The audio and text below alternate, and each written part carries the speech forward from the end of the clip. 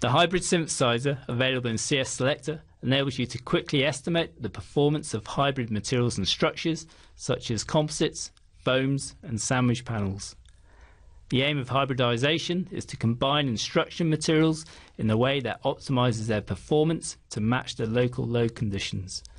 This can lead to increased performance, significant weight savings, lower environmental impact, and reduced running costs.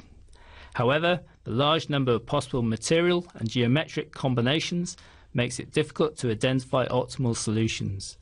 This can lead to suboptimal performance, an increase in the number of processing and test iterations, and extended development times. Can we focus development more effectively? Here we will show how a development team might use the hybrid synthesizer to investigate and optimize the configuration of a sandwich panel for lightweighting a self-supporting floor between the upper and lower deck of a train. CES Selector allows us to create a chart of bending stiffness against density using Granta's unique Material Universe dataset. This includes material property information on all classes of engineering materials. The chart quickly highlights the relative performance of conventional floor materials such as woods, aluminium, composites, and steels. Our aim is to establish whether we can create a sandwich panel that outperforms these materials.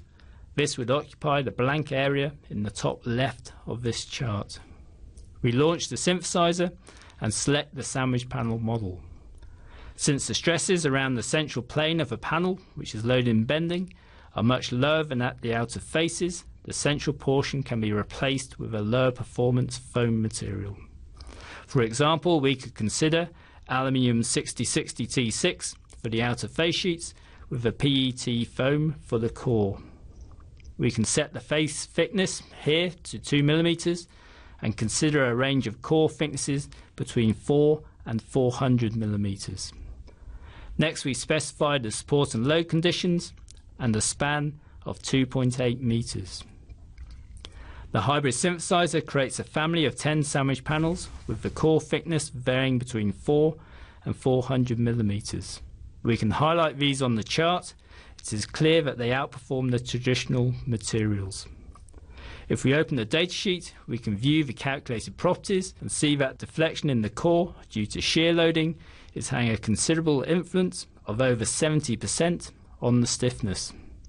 This suggests we can improve the performance by specifying a higher performance core material. If we rerun the same model, replacing just the PET foam with the same density aluminium honeycomb, we see a considerable increase in performance. Based on this analysis, we can quickly establish and communicate the potential benefits in using a sandwich panel for this application identify which panel component is limiting its performance, and propose a skin and core configuration that will maximize performance. This enables us to focus our development efforts on configurations that are most likely to lead to success.